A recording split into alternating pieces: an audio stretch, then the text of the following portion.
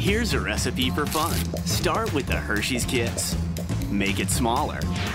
Add a splash of color and some crunch. Kissables. Little Hershey's Kisses chocolate candy in a crunchy candy shell because everyone needs a little kiss.